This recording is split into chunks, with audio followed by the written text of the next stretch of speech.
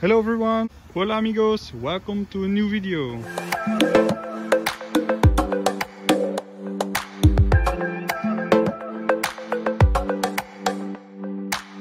So guys, today I'm going to speak a little bit about the car battery and more specific how you can test it with a simple multimeter.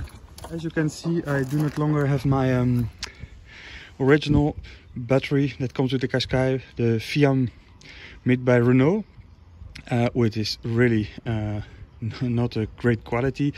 Nissan had to uh, change lots of batteries of this fabrication um, under warranty.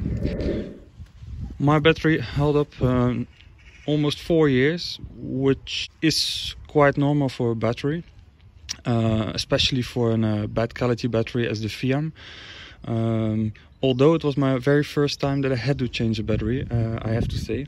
I think it was um, because I um, disabled the start-stop system, as you know in my um, in another video. Um, also, I use LED, which uh, doesn't use as much current as um, as does the original halogen lamps.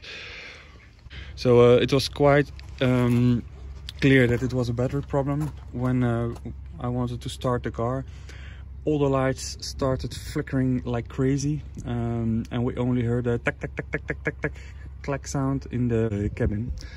So um, as I said I had to call in Nissan Assistance which came um, within uh, an hour and gave me a jump start and it was good to go. I drove off to the very first auto center I could find 20 minutes minutes ahead.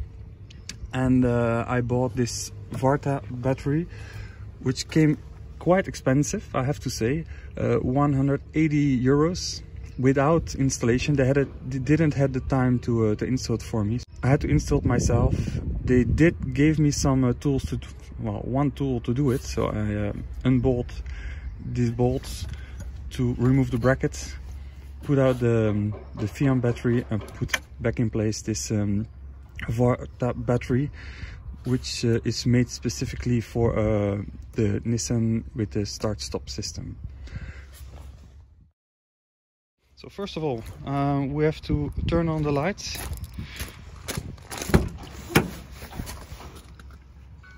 Like this.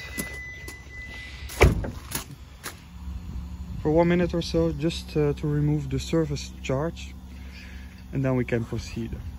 So one minute later, time to shut off the lights.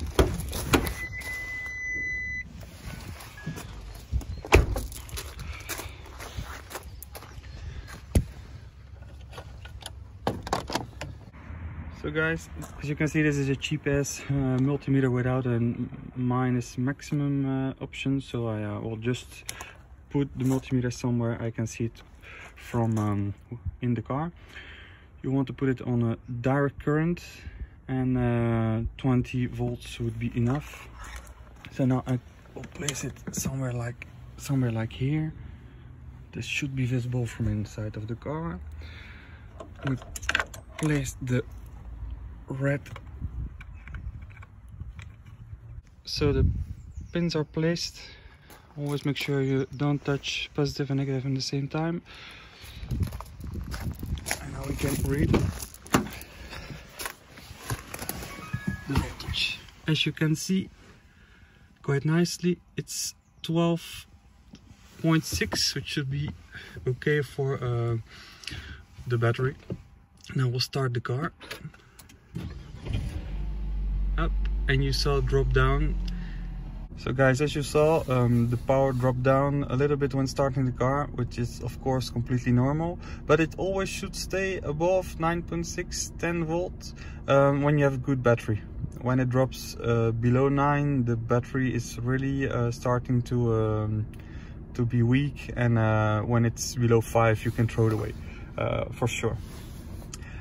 There's another way to uh, see the, the, um, the, power as well. In a small hidden menu when you push setup and you turn left right left you come in this hidden menu.